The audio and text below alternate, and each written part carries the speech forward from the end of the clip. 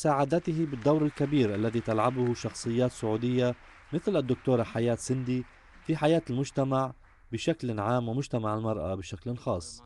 هي كباحثة وعالمة. دورها مثل دور أي باحث وعالم والمساهمة في تطوير المجالات العلمية والبحثية. واكتشاف مجالات وآفاق كبيرة بالنسبة للعلوم وبالنسبة للبحوث وأيضا بالنسبة للاختراعات المفيدة للبشرية. فأمثال الدكتورة حياة ليس عملهم ليس مقتصر على بلدهم فقط وإنما هو على على العالم بل على الإنسانية إجماع ولذلك نحن فخورون بها لأنها أنجزت الشيء الكثير في هذا المجال. وعلى شرف الدكتورة حياة سندي أقام السفير السنوسي حفل عشاء رسمي بمنزله حضره لفيف من أعضاء السلك الدبلوماسي وأعضاء مجلس الشيوخ بالبرلمان الكندي وعلى رأسهم السيد نويل كنسيلا رئيس مجلس الشيوخ. الزيارة طبعا كانت هنا لكندا لها كذا سبب. من أهم الأسباب لها إنه كيف نقدر نتواصل بين التواصل العلمي بين السعودية وكندا. فزرت أمس القسم المستشفى في البحث العلمي وكان لقاء مع العلماء هناك وناقشنا كيف نقدر نساهم في ابتكار أبحاث جديدة للتشخيص وتسخير العلم لحاجة أفضل للناحية الطبية.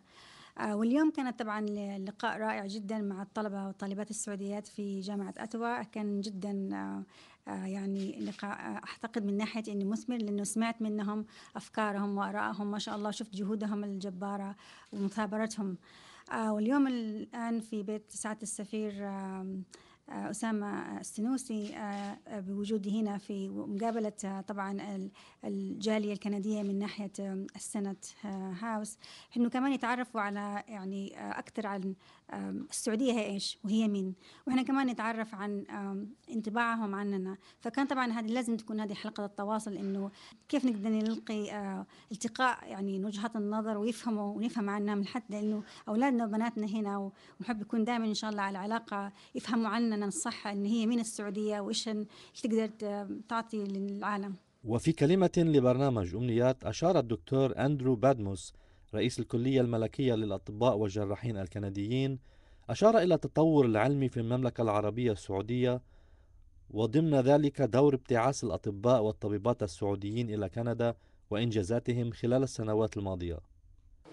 Well, the uh, Saudi physicians in Canada for the last 30 years have provided a lot of clinical service and really excellent contributions to our healthcare. Uh, they've also contributed to science, and it's particularly gratifying to see such a sterling example of uh, scientific accomplishment as Dr. Hayat Al Sindi.